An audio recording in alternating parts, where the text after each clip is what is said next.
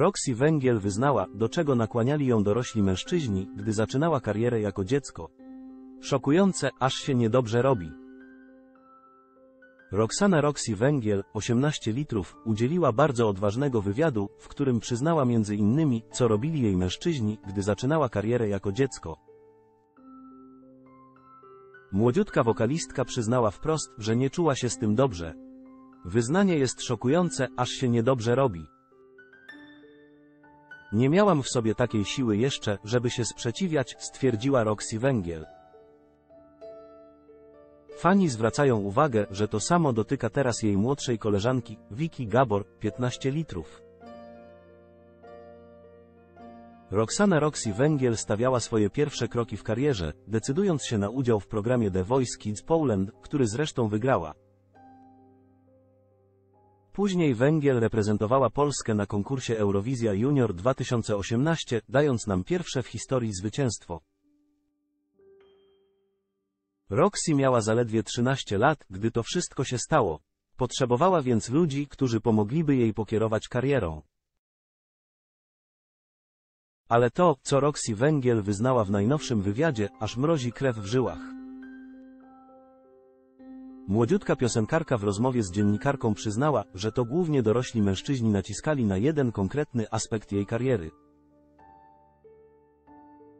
Fani zwracają uwagę, że dokładnie ten sam zabieg stosowany jest teraz w przypadku jej młodszej koleżanki, Vicky Gabor.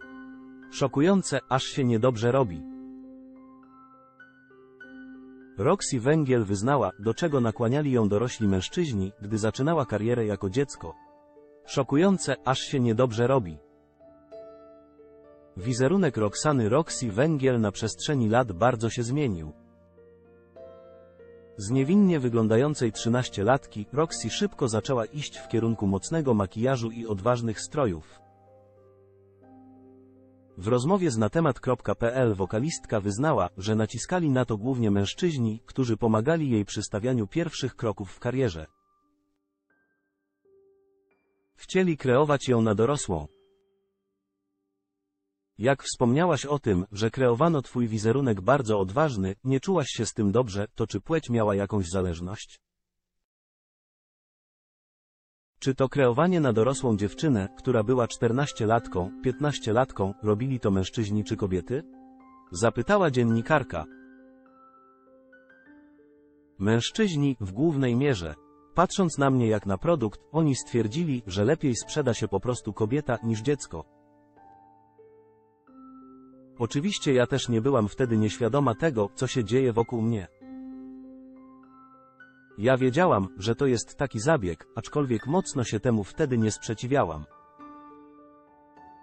Być może nie miałam jeszcze takiej siły, żeby się sprzeciwiać osobom, które są wysoko postawione. Teraz jest już zupełnie inna sytuacja. Faktycznie mężczyźni, z którymi pracowałam, byli za tym, żeby jednak pójść trochę bardziej w odważniejszy wizerunek, bo to się lepiej sprzedaje, wyznała Roxana Węgiel. Na szczęście teraz Roxana Węgiel sama może decydować o tym, jaką chce siebie przedstawić. Tym bardziej, że w tym roku skończyła 18 lat.